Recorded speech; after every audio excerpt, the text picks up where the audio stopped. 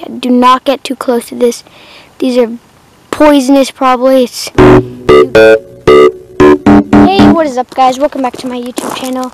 And um, right here we're going on this nice little hike and stuff. We have all these mountains and stuff. And um, before I came up, there was a sign saying that a dog was bitten by a rattlesnake. And uh, so reason why I brought my camera was because if you see a rattlesnake, you know, that'd be cool to get some footage of and, you know, it'll be great and stuff. And then also my mom wanted me to go on a hike.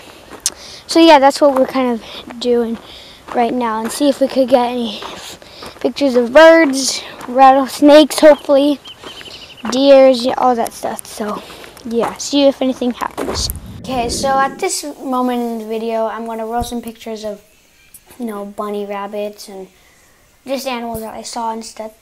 And, um, but yeah, later on in the video, I do see a um, snake and stuff. So this is not clickbait and stuff. So yeah, just stay tuned for the snake. It's a really big black snake. And yeah, just try to look for it. And yeah.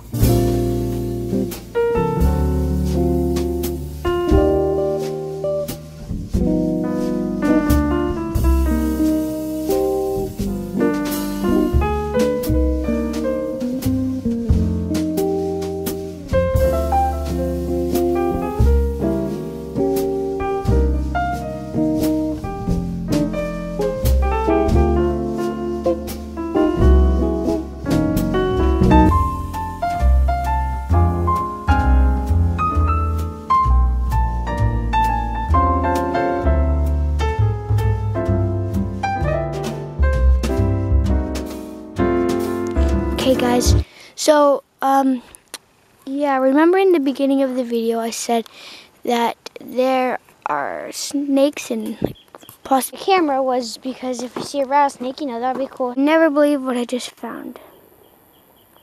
Zoom in. Yeah, there it is. Snake. Huge. It's like a black I don't know what it is. What type of snake is, but that is huge.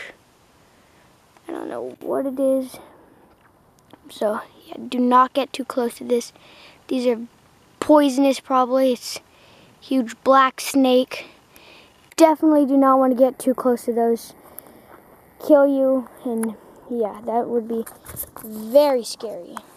So see what else we can find.